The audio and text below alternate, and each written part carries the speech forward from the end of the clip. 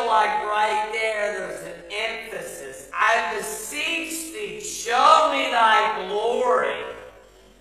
And he said, I will make all my goodness pass before thee, and I will proclaim the name of the Lord before thee, and will be gracious to whom I will be gracious, show mercy on whom on whom I will show mercy. And he said,